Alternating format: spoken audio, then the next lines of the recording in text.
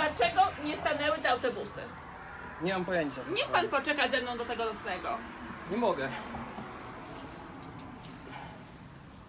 Jeżeli, nie, do sta- pracy. jeżeli nie, nie, sti- nie stanie mi ten nocny, skremuję kilka tysięcy Polaków, przysięgam ci na tą datę.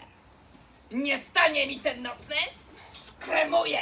Czyli najpierw zabiję w wypadku tragicznym, potem skremuję w krematorium kilka tysięcy Polaków. Przysięgam ci na tą datę. Dam też Lepiej niech pani nie przysięga.